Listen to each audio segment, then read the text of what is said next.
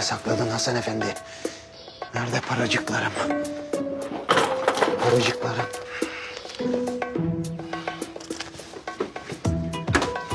Nereye sakladınız paracıklarımı?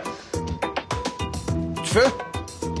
Babacığım, Ne yapıyorsun sen orada? hiç.